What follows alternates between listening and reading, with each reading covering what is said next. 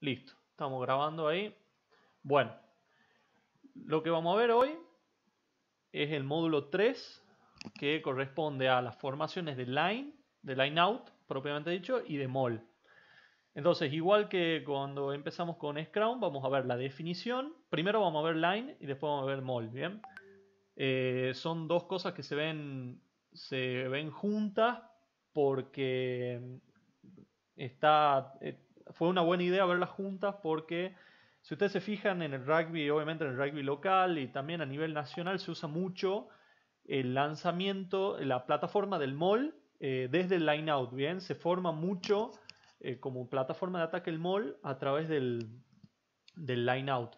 Así que bueno, vamos a ver lo, primero el line y después vemos el mall, ¿bien? Los vemos como, como complementarios. Aunque no tienen nada que ver una formación con la otra. Vamos a ver bien sus características. Vamos a ver las definiciones de cada una, cuál es el procedimiento para, dirigir cada, formación, factores clave que hay que tener en cuenta para, para que la conducción de las formaciones sea exitosa y vamos a hacer el análisis de algunos videos. Bien, no vamos a llegar a ver todos, hay un montón de videos para, esta, para esta clase.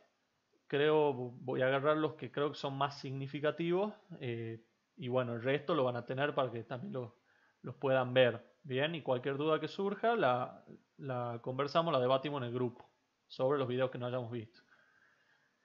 Bien, empezamos con Line. Primero, tenemos que saber, si ustedes han ojeado un poco el reglamento, van a, eh, sabrán que el campo de juego tiene unos límites laterales denominados líneas de touch. Bien, la, para, para que nos ubiquemos, las líneas que corren eh, a lo largo de la cancha hacia el costado, es el límite lateral de la cancha, se llama línea de touch. Y se la llama línea de touch eh, al, digamos, al tramo más largo que va desde una línea de gol hasta la línea del otro gol. Cuando esas líneas de touch ingresan en los in-goles, se llaman líneas de touch in-goal, que tienen otras cosas, eh, otras características, ¿bien? Cuando la pelota está en touch, porque toca la línea, o sea, la línea no es parte de la cancha, la línea es parte de lo que se llama el touch, o sea, de afuera de la cancha. La, línea está afuera de la cancha. Entonces, cuando la pelota o el jugador portador de la pelota tocan la línea o, o tocan a algo que está en touch, o sea, que está afuera de los límites de la cancha, de los límites de estas líneas, la pelota se hace muerta. Entonces, para reiniciar el juego cuando la pelota se hace muerta eh, por salir a touch, vamos a reiniciar el juego con tiros rápidos o con lineouts. Bien, no vamos a ver tiro rápido en esta, en esta clase, lo vamos a ver todos los detallecitos de touch, de touching goal, de pelota muerta, estas situaciones particulares de cuando sale la pelota de la cancha, la vamos a ver bien en profundidad cuando veamos la última clase que es la del referee asistente, ¿bien? Porque es el referee asistente el que toma las decisiones sobre si una pelota, el que debe decidir sobre si una pelota está en touch, en touching goal o se hace muerta por línea de pelota muerta, que es la última línea, la línea de fondo, ¿bien? Así que ustedes quédense tranquilos con esos conceptos que lo vamos a ver en esa clase. Hoy vamos a ver solamente las formas, lo de tiro rápido también lo vamos a ver en esa, en esa clase porque es una situación muy particular que tiene muchas este, cositas eh, puntuales para verlo. Lo vamos a ver también en la clase de referee asistente porque eh, es también algo que eh, incumbe al referee asistente determinar un tiro rápido. El line out es una formación, de lo que se llama una formación fija, igual que el scrum, que sirve para reiniciar el juego, con un lanzamiento donde se pone la pelota en disputa para los dos equipos. Bien, eh, obviamente, como decíamos, después que la pelota o el portador de la pelota ha salido a touch. Entonces, al igual que el Scrum, es una formación fija donde ponemos en disputa la pelota eh, para que se la disputen los dos equipos. Bien, eh, acá tenemos una imagen. Bien, lo que teníamos como línea de touch es esta línea. Esta línea paralela acá, que va hasta el in-goal, ahí donde está el banderín, eh, marca la línea de gol, hasta ahí es touch. Y bueno, siguiendo para acá, de igual manera, hasta el próximo in-goal. Bien. Además tenemos dos líneas paralelas a esta que eh, son auxiliares, digamos, para, para lo que es el touch, que es la línea de 5 metros, porque está a 5 metros del touch, y la línea de 15 metros, que es la que está a justamente 15 metros del touch.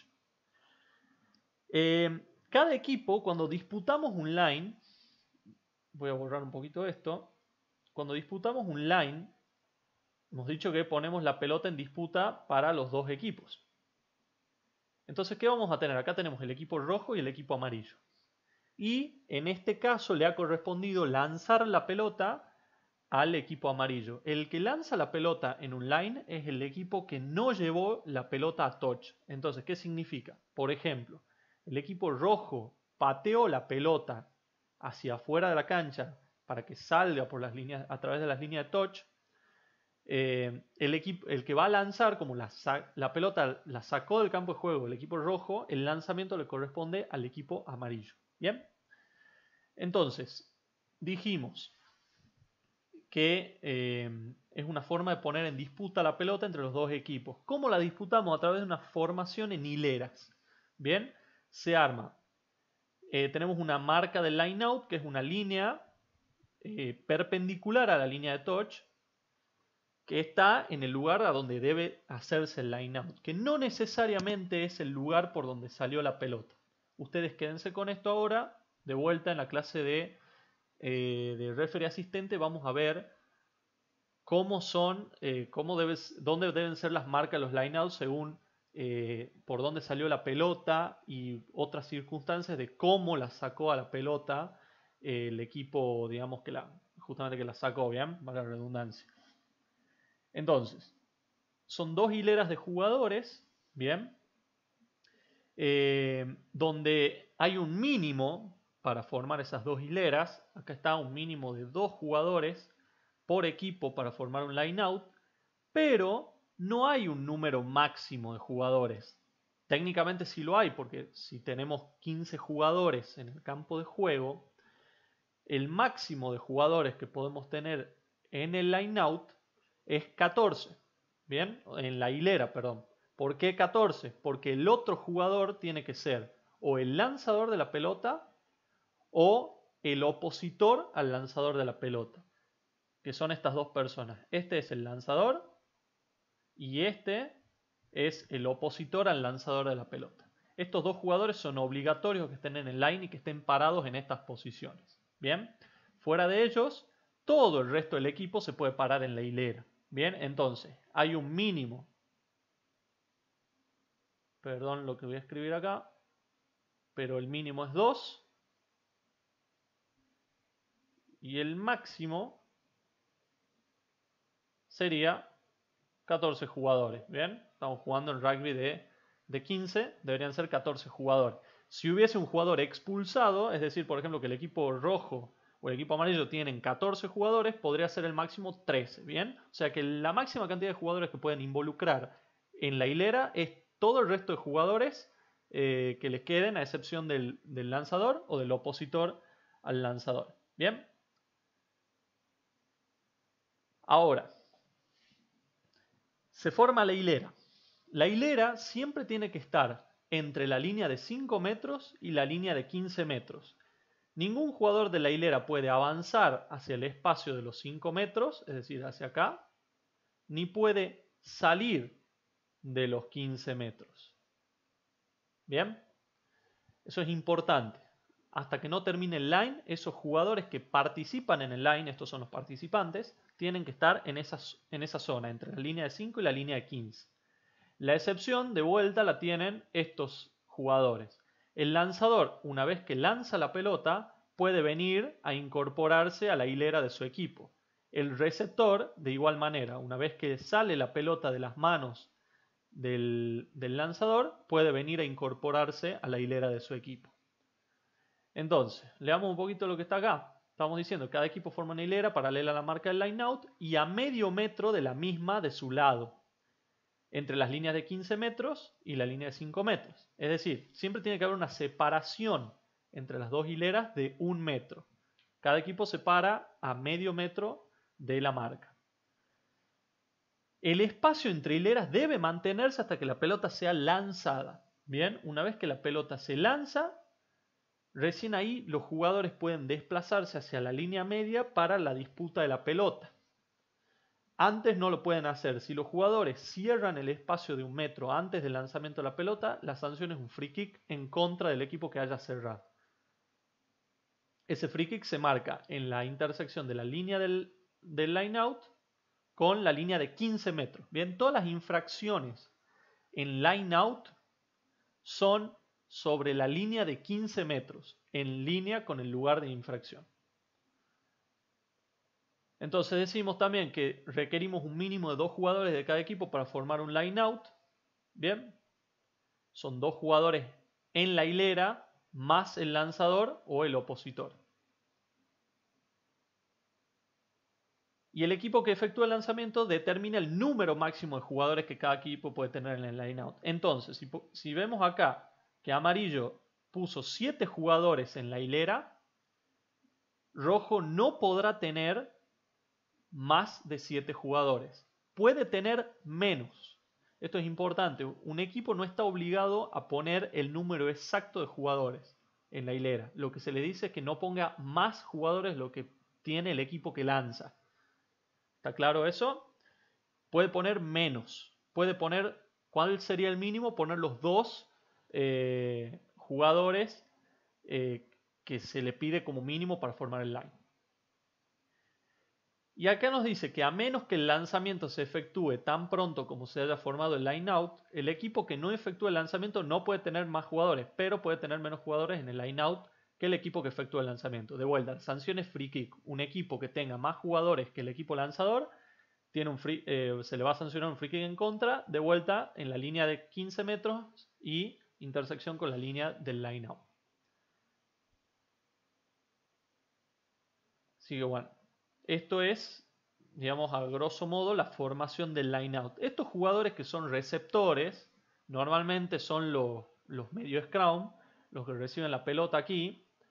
Eh, no es obligatorio que eh, no es obligatorio que participen acá y no es obligatorio que estén en esta zona. Acá dice que esté a 2 metros el line out. Aquí deben estar antes del lanzamiento de la pelota. Una vez que se lanza la pelota, ellos se pueden incorporar a la hilera. Bien, así que, eh, pero está claro, digamos, esto en cuanto a la formación. Sí, Carlos, decime, prende tu micrófono. Julián, perdón. sí, sí. Una consulta, Este, ahí estamos hablando que el equipo que defiende, sería en este caso, eh, tiene que poner la misma cantidad de jugadores de este ataque. Sí. Es necesario el que va a arrojar diga la cantidad de personas que es live o directamente el equipo que defiende tiene que ver la cantidad y poner la cantidad que está frente del equipo que ataca? Bien, es una muy buena pregunta porque lo hacen también muchos árbitros la misma pregunta. Eh, no hay una obligación del equipo que propone el número, se le llama equipo que propone el número al lanzador, ¿bien? Porque ellos son los que fijan la cantidad de jugadores. No hay una obligación de ellos a que digan. Debería ser una tarea del equipo eh, no lanzador de contar cuántos jugadores hay y en base a eso armar su hilera. Bien. Normalmente y sobre todo en, en divisiones juveniles se le pregunta al equipo lanzador para que diga su número o se le pide por favor, eh, supongamos amarillo, diga número pero no está mal también recordarles al equipo rojo, por ejemplo, que cuente. Entonces le decimos amarillo, diga número, o rojo, cuente. Bien, no es obligación. No es obligación del árbitro decir cuántos jugadores tiene que haber.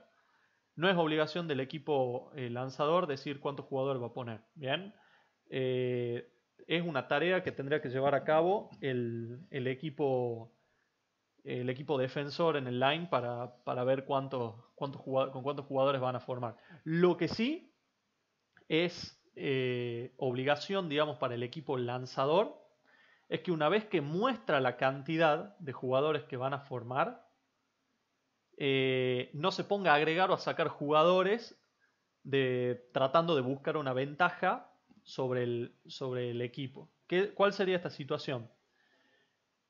están arribando cinco jugadores amarillos.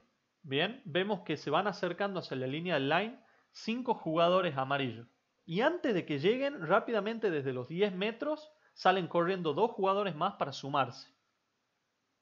Cosa que apenas lleguen, lancen la pelota y jueguen y hayan logrado una superioridad numérica. Bien, nosotros vamos a ver que Rojo ya había puesto 5 jugadores porque vio que se venían acercando 5 jugadores. No permitamos eso. Eso es, eh, digamos, es desleal. Eh, definir de una sola vez, vos equipo amarillo en este caso, definir de una sola vez cuántos jugadores vas a poner. No te estoy pidiendo que digas el número, pero definir de una sola vez cuántos jugadores vas a mandar a la hilera. ¿Sí, Francisco? Sí, Fede, yo lo que te quería preguntar es, el sábado, por ejemplo, el partido de juvenil contra Huirapuca en la M19, sí. Eh, ellos tenían formado un line de 7, ¿sí? Y antes del lanzamiento, eh, dijeron, le, le, avisaron al referee, le dijeron en voz alta, vamos a cambiar, y fueron por uno de tres. Eso está permitido, digamos, está, está bien hecho de esa manera. Ellos bajaron el número, no sumaron jugadores, pero avisaron. Está perfecto. Está perfecto porque justamente avisaron, ¿bien?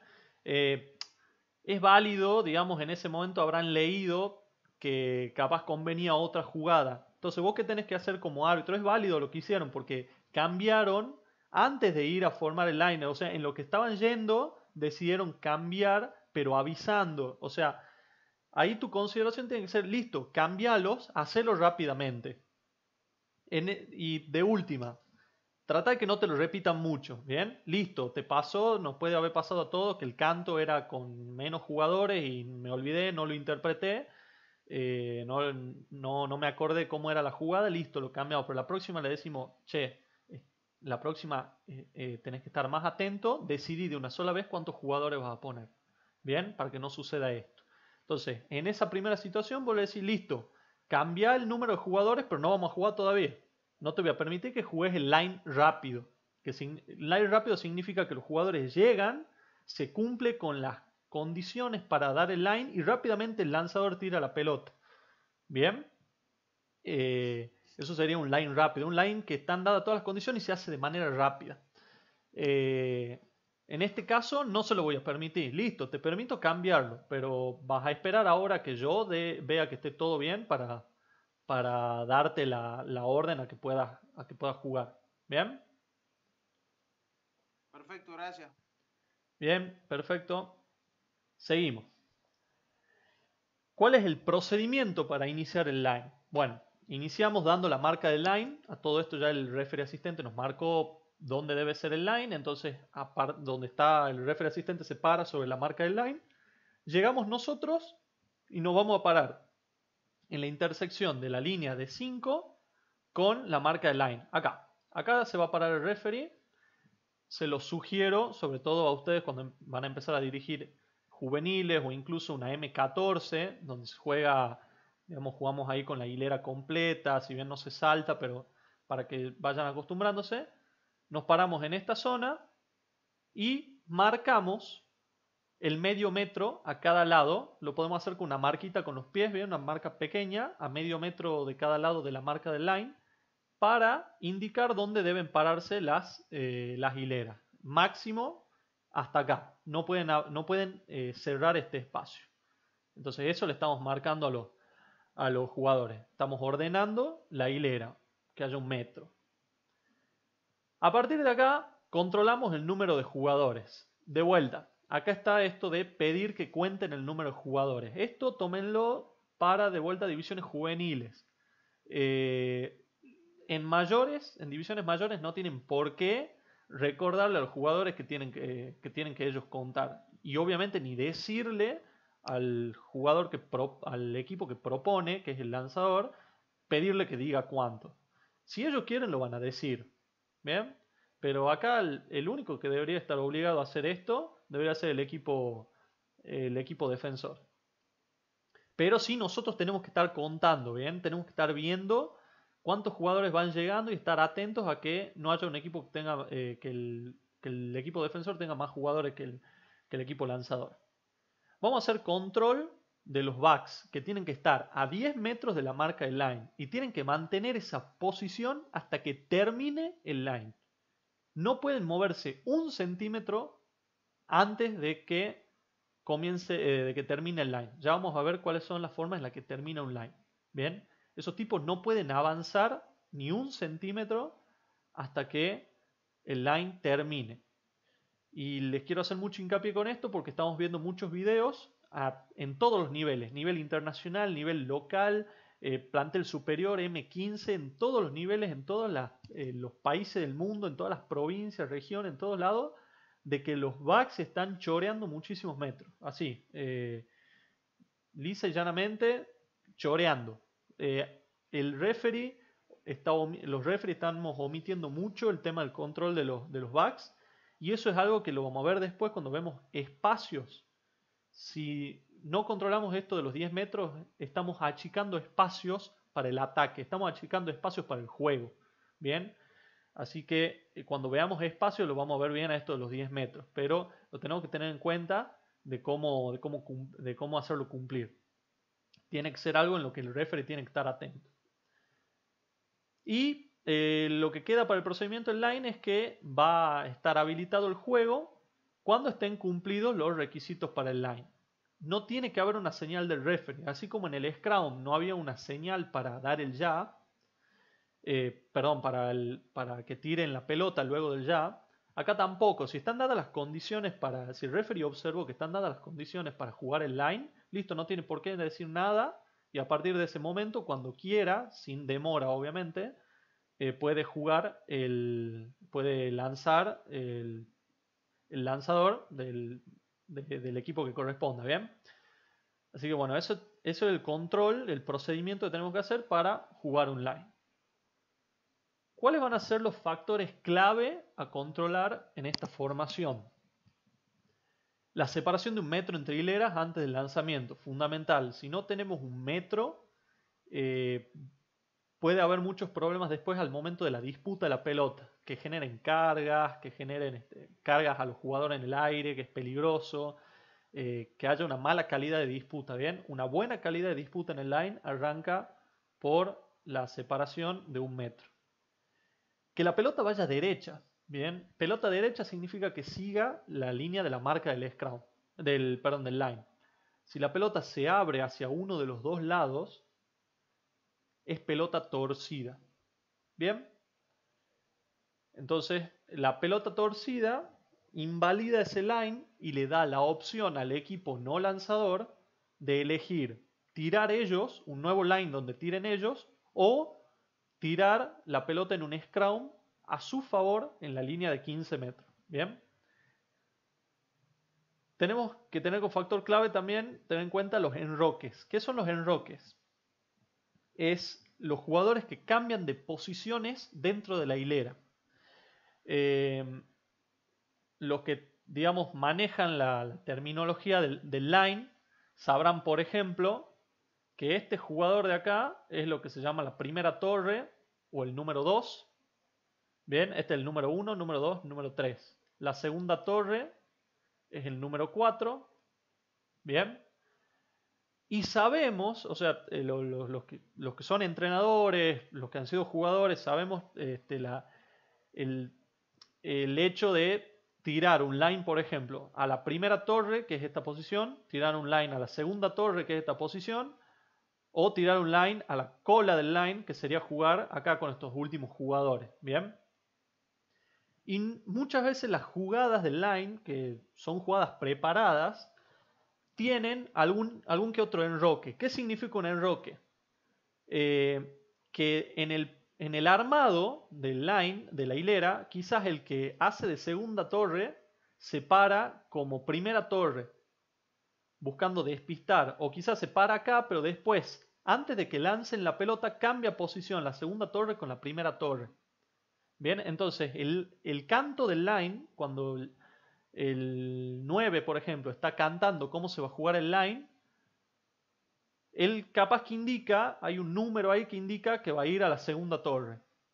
Pero como yo quiero hacer una variante para que no el equipo contrario no me lea mi jugada y, y termine robándome la pelota, bien, porque lea mi, mi jugada preparada, le doy la señal, doy un canto extra donde indico que cambien de posiciones el 4, o sea, la segunda torre con la primera torre. Le voy a tirar la pelota a ese jugador, pero en vez de que él la reciba acá, él se va a mover hasta acá para recibirla en la primera posición, en la primera torre. Eso sería un enroque, ¿bien? Un enroque es jugadores de la, de la hilera que cambian sus posiciones dentro de la misma hilera. ¿Por qué tenemos que estar eh, atentos a los enroques para ver que no haya jugadores que salgan del line, bien, que salgan de la hilera y, este, eh, hagan lo que es un abandono del line, que ya lo vamos a ver. Eh, tema de los enroques también a veces eh, a los árbitros cuando son más inexpertos les genera muchos, muchos problemas, bien. Eh, más cuando hacen esas jugadas, el 6 más 1, bueno, los que sean entrenadores, sean, jugadores, me van a entender, esto de, las jugadas del line. Eh, pueden ser complejas, con mucho enroque, mucho movimiento entre jugadores, y eso al árbitro, cuando no tiene mucha experiencia, lo mata. ¿Bien? Así que tenemos que estar atentos a eso. Si está dentro de la ley, si vemos que son eh, cambios de posiciones de jugadores dentro de la misma hilera, no hay ningún problema. Ingresos y egresos. Antes del lanzamiento de, la pelota, si un jugador sale de la hilera, otro tiene que entrar. ¿Qué significa esto? ¿Dónde se da mucho? A veces sucede que el jugador que se para como receptor decide ingresar a la hilera. Si es antes de que se lance la pelota, si el que estaba de receptor ingresa a la hilera, uno más tiene que salir para mantener el número. Vamos de vuelta. Si yo fijé que voy a jugar con 7 jugadores en la hilera, no puedo tener más o no puedo tener menos. No puede salir uno y no entrar el que estaba del receptor. ¿Está claro? Esto también se hace para generar variantes en las jugadas preparadas de, line. Bien, esa es otra también, otra cosa que genera muchos problemas. Esto sucede a veces cuando tenemos las jugadas 6 más 1. Eh, esto le genera problemas a los, a los árbitros inexpertos y no tan inexpertos, ¿no?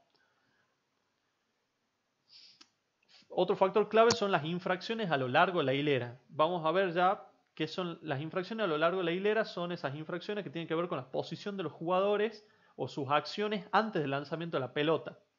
Lo importante es saber que todas las infracciones a lo largo de la hilera, que son infracciones previas al lanzamiento, se sancionan con free kick, a diferencia de las infracciones al otro lado de la hilera. ¿Qué significa una, ¿Por qué se llama del otro lado de la hilera? Es porque cruzamos, la infracción que nosotros hacemos es al cruzar hacia la hilera contraria. ¿Cuál sería un caso como este? Cargar a un jugador en el aire, al saltador de la otra hilera. Eso es una carga en el aire, es una infracción, penal. Otra infracción sería cruzar la hilera hacia la, hacia la contraria, una vez que, se, que inició el line. Eso también es una infracción y se cobra con penal porque es un offside. Sí, Gustavo, tenés levantada la mano. Eh, perdón, Fede, tengo una consulta. Sí. Ante una posible infracción en el line-out no hay tolerancia, me refiero, no se hace una advertencia directamente free kick y se da la opción al, equipo defensor, ya sea hacer un, un o, o, volver a hacerlo al, al line-out si se puede hacer la prevención, si te da el tiempo para hacer la prevención, hacela, buenísimo. O sea, siempre que podamos prevenir una infracción es lo mejor para poder, para poder eh, privilegiar el juego. Lo que pasa es que las, las formaciones de line, digamos, estos enroques que se hacen, los ingresos y egresos, el armado de las, de las jugadas preparadas de line es tan rápido a veces que no nos da tiempo, entonces nosotros terminamos sancionando al toque. Si vemos, por ejemplo, un jugador que salió y no hubo uno que ingresó antes, de, antes del lanzamiento de la pelota y no nos va a dar tiempo para prevenirlo. Capaz que no le terminamos de decir y ya lanzó la pelota. Listo, tenemos que cobrar el free kick. Bien. Igual, un jugador que se manda rapidísimo antes de que termine el line a cruzar la hilera es un offside, de, un offside en el line, un offside de, un participante. Tiene, eh, no nos da tiempo prácticamente tenemos que cobrar el, el penal. Bien. Así que si en la medida de lo posible vos logras controlar esto eh, y logras prevenirlo, buenísimo. Eh, sería lo ideal. pero a veces no nos da la velocidad del juego en esta situación como para llegar a hacerlo. Bien, otro factor clave, no haya levantamientos previos. Bien, no, no se puede levantar a un jugador antes de que se lance la pelota. Bien, eso es free kick, es una infracción a lo largo de la hilera. Tenemos que controlar la posición del opuesto del lanzador. Ese tipo siempre tiene que estar eh, a 2 metros de la marca del line out. Es esta posición, este es el opuesto del lanzador. Tiene que estar 2 metros hacia atrás de la marca y 2 metros hacia adentro desde la línea de 5. Si se adelanta hacia acá, es infracción. Infracción, si este jugador no respeta esta posición, es free kick en contra. ¿Bien? No abandonar el line out. El abandono del line out es una forma de offside del line. Ya lo vamos a ver bien clarito en un video. El abandono del line es una forma especulativa que tienen los equipos que deciden no disputar en la hilera y se preparan rápidamente para ir a taclear al portador de la pelota, eh, sobre todo cuando están por hacer formaciones, lo llama una plataforma para tratar de hacer un, un mall. Bien, el abandono en line es retirarse hacia atrás de la hilera. Eso es offside de los participantes y tiene que ser cobrado con penal. Hay situaciones donde sucede, un, donde sucede este abandono, pero no tiene eh, materialización. O sea, la infracción no tiene efecto material sobre el juego. Y hay otras veces que nos tenemos que dar cuenta porque son muy claras, muy obvias y tienen efecto sobre el juego y lo tenemos que cobrar. Bien, así que ya vamos a ver un video clarito sobre el abandono en line. Y por último, lo que hablábamos del offside de los backs. Hasta que no termine el line, los backs no pueden avanzar un centímetro. ¿Bien? ¿Sí, Francisco? Sí, ¿sabes qué? No me quedó claro, eh, o sea, eh, porque he visto, me estoy recordando los juegos del sábado, eh, de lo, con respecto a los levantamientos previos. Sí. Eh, o sea, el line out inicia en el momento que se lanza la pelota, entonces. Sí, de... la definición exacta es que el line inicia cuando la pelota deja las, las dos manos del, del, lanzador de la pelota. A partir de ahí comenzó el line. Claro. ¿Por qué te pregunto esto? No sé si le pasaron a los otros, pero yo por ejemplo estaba viendo, estoy en mi cabeza repasando los partidos del sábado, que es lo que tengo más fresco, y ha pasado en varias ocasiones que cantan, o sea, el juego que van a decir, ¿viste? tienen los cantos de la jugada preparada, y no lanza porque se mueven los jugadores en la fila, hacen lo que vos le llamás el enroque, pero el otro equipo levanta. Ahí tendría que cobrar la sanción entonces, porque no se produjo el lanzamiento. Bien. No sé si claro sí, sí, sí. Yo, yo por lo menos sí te entendí. Eh, sucede, sucede sobre todo en juveniles que eh, sí, es sí. más, eh, es como más desordenado todo, ¿bien? Eh, que el lanzador decide no, no lanzar porque ve que todavía se están moviendo la hilera no tiene que ser problema, o sea, los enroques pueden suceder eh, en cualquier momento, digamos. Entonces, primero tenemos que ver una cosa, que acá no está marcada, pero hay que verla y ya, lo vamos a ver en un video. Primero, que el lanzador no haga amague del lanzamiento. Esto significa que, por ejemplo, el, el lanzador ya había remontado la pelota atrás de su cabeza, listo para lanzar, y ve que como se siguen moviendo, decide no lanzar. Eso ya es un amague. Bien, una vez que el jugador remonta la pelota eh, hacia atrás de su cabeza para darle impulso para lanzarla, tiene que lanzarlo. Bien, si no lo hace, es amague y es free kick en contra. Entonces, eso es lo primero que hay que ver. Si, si no es este el caso, o sea, no se llegó a configurar un amague, vamos a los levantamientos. Lo que vos me decís que, ¿cómo sería un levantamiento previo? Que justamente antes de lanzar la pelota, a la primera torre o a la segunda torre, ya los, los apuntaladores, los levantadores ya lo están levantando en el aire. Bien, es un levantamiento previo. Un levantamiento previo va a ser antes de que lance la pelota. Entonces, ahí como árbitros nosotros tenemos que estar atentos y estar mirando, eh, tratar de mirar al mismo tiempo lanzador y saltadores. Bien, eso es algo que lo, lo, vamos a ver en el entrenamiento en campo, cuando veamos entrenamiento específico de line y de scrum. Cuando veamos line, vamos a ver cómo tratar de desarrollar un poco la visión periférica. Para estar viendo con la visión central la hilera y periféricamente verlo al lanzador. Entonces yo ya lo veo así de reojo, porque esa es la visión periférica, veo cuando el lanzador ya remontó y está listo para lanzar. Entonces yo voy a ver si amaga y si lanza, voy a ver el momento exacto donde lanzó y ya voy a saber si los jugadores, si hubo alguno que hizo un levantamiento previo o no. Entonces, en síntesis, primero hay que ver que ese jugador, los, enroques bien, se pueden hacer en cualquier momento antes del lanzamiento. Eso está totalmente permitido.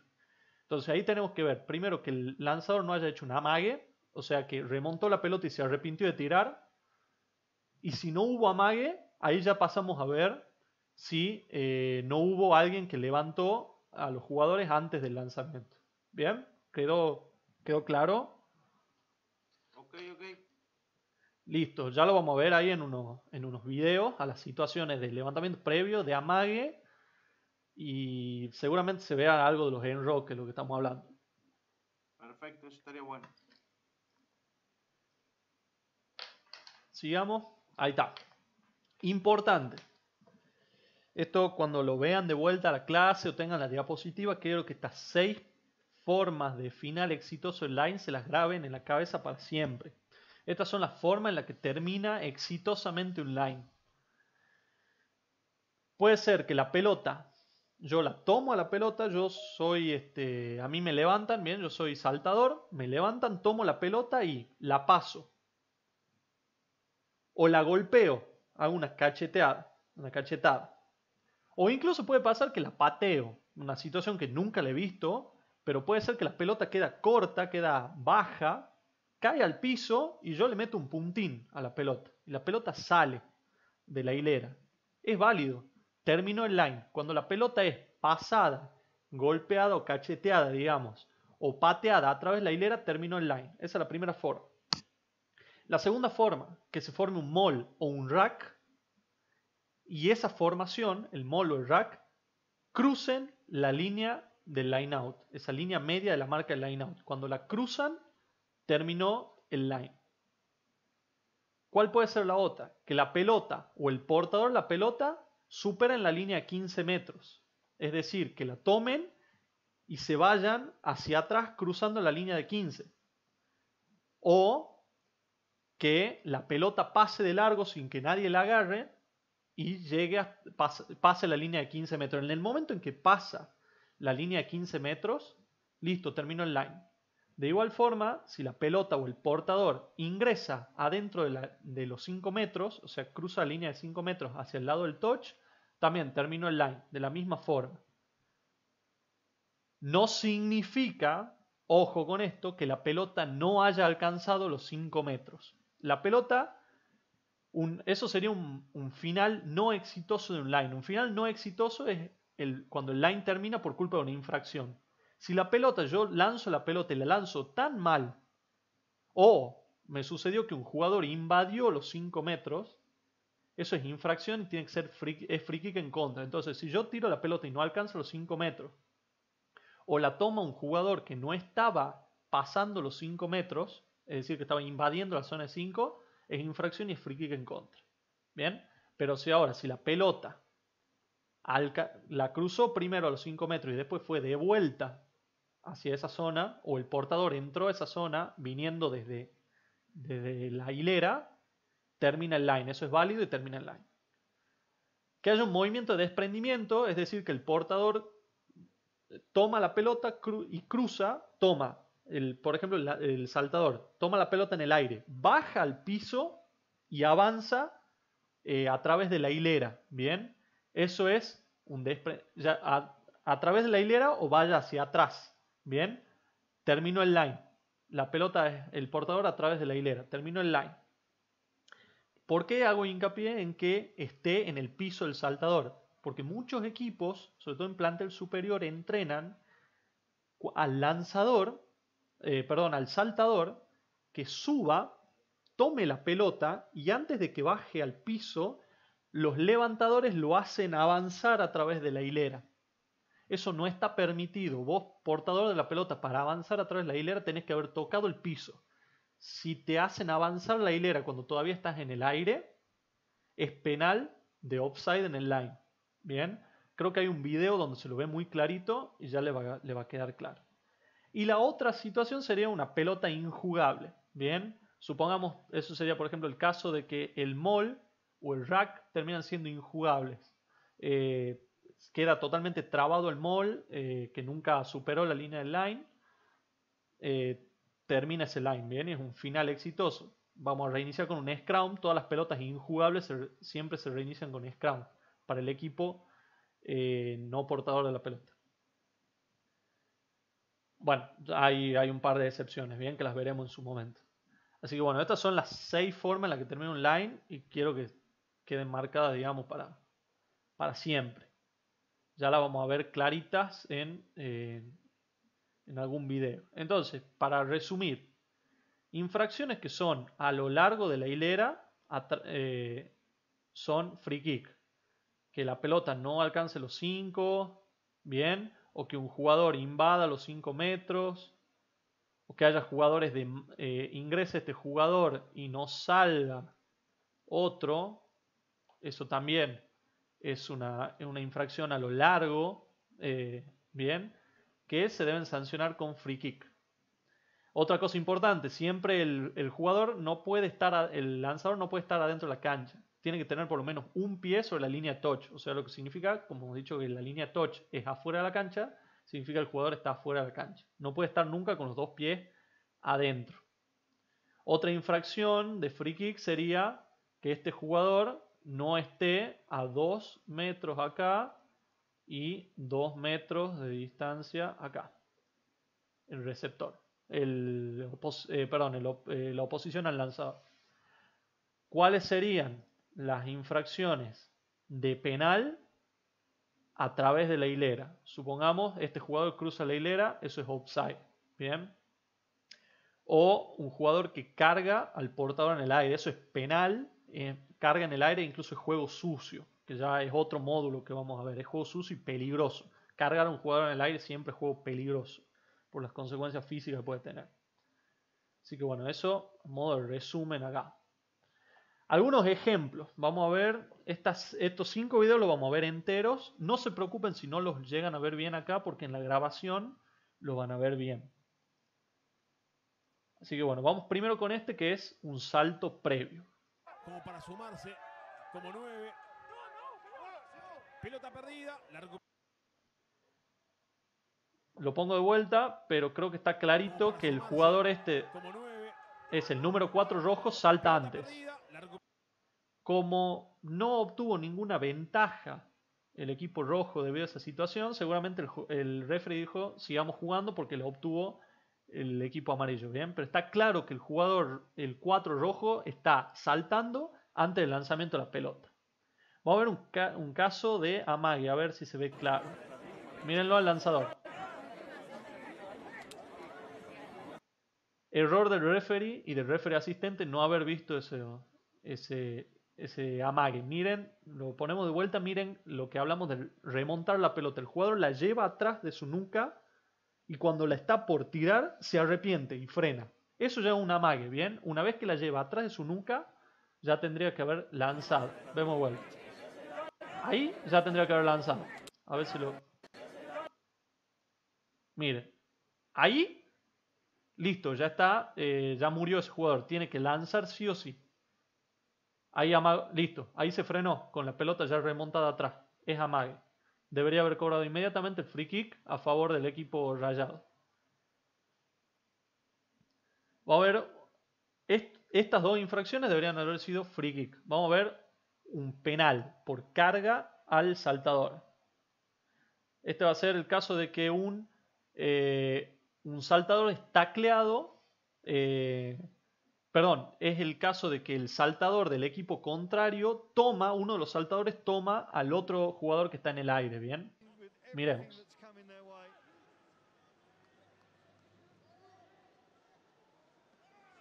¿Lo ven al jugador de casco de, negro? Mírenlo acá, a este. Miren cómo obtiene celeste y él lo agarra. Nunca disputa la pelota. Va directamente a tomar al jugador que está en el aire. Eso es peligroso. Bien, es muy peligroso. Ahí lo ven. ¿Por qué? Porque el jugador celeste podría haber caído mucho peor al piso y ser realmente peligroso. Acá también, este, este sí cae mal. Miremos.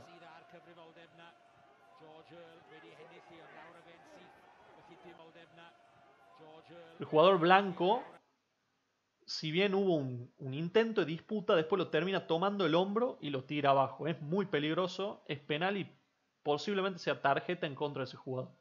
Vamos a ver ahora un caso de una obstrucción. Esto sucede cuando los levantadores se paran adelante del, jugador eh, saltador, que es el, luego el portador de la pelota, y generan una obstrucción. Bien, cualquier jugador que se ponga adelante del portador de la pelota para impedir eh, que un oponente lo pueda taclear, va a ser, eh, va a ser penal, bien, por obstrucción. Veamos.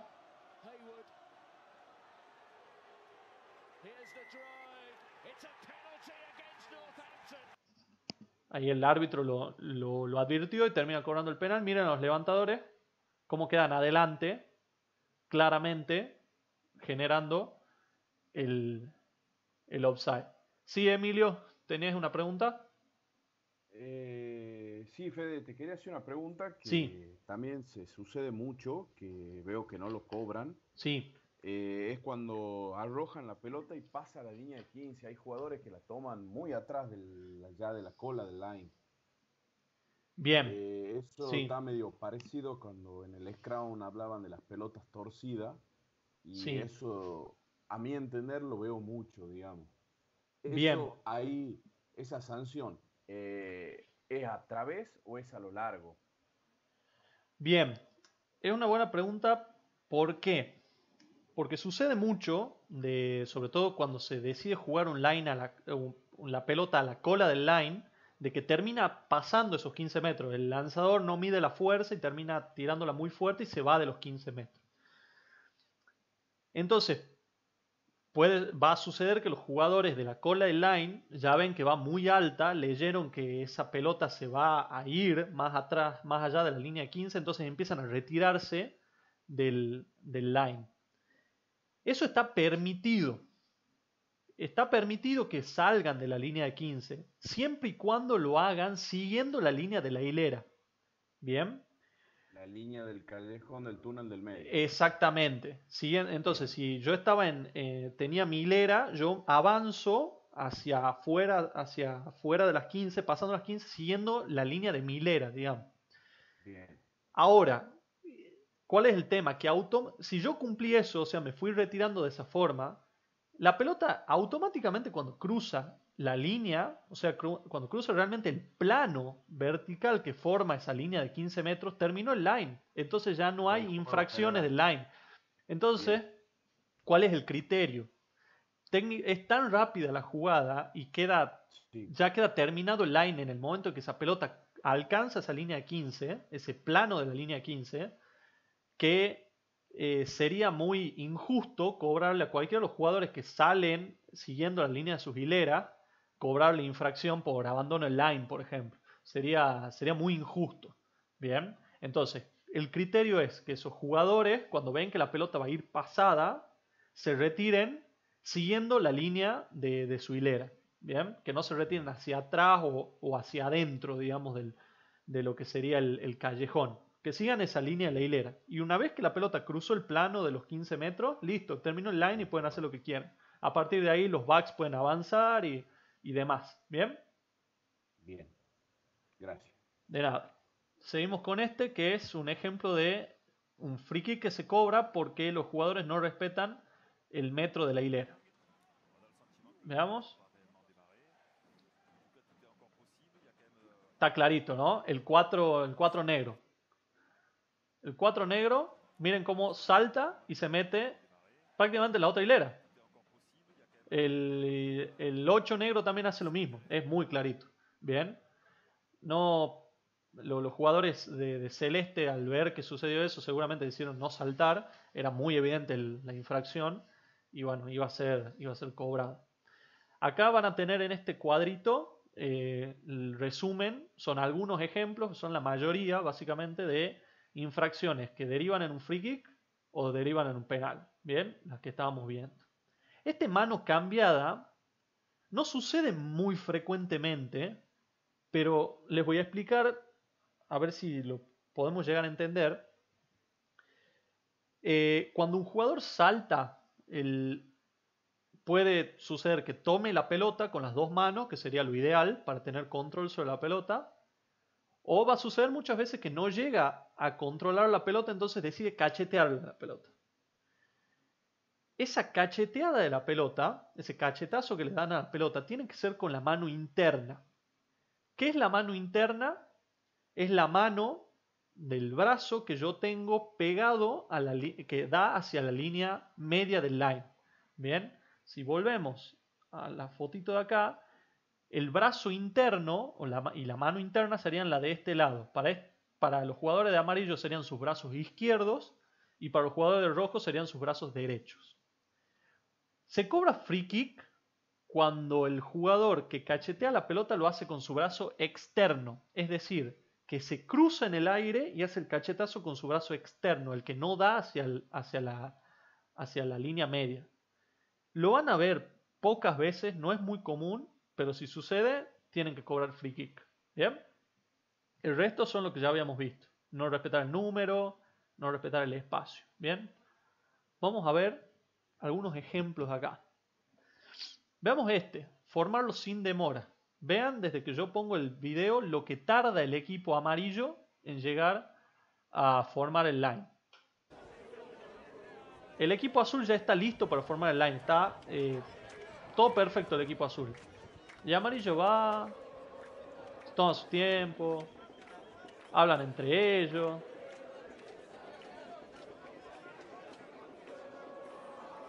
Recién ahí tira. Si tomamos más o menos cuánto tiempo era. Desde que comienza el line, desde que comienza el video ya está listo azul. Y estos lanzan. Recién está por lanzar la pelota. En el segundo, casi en el segundo 17, es mucho tiempo. Bien. Y si esto sucede cuando quedan 5 minutos de un partido que está. Eh, que se define por diferencia un punto, es una, es una burrada. Bien. Eso deberíamos cobrarle free kick en la línea 15 por demora. Bien, line, una vez que está formado, que uno de los equipos está formado, bien, correcto, listo para disputar el line, el otro equipo tiene que llegar lo más rápido posible. Vamos a ver un caso de abandono del line. Lanza equipo azul, defiende equipo blanco. Veamos.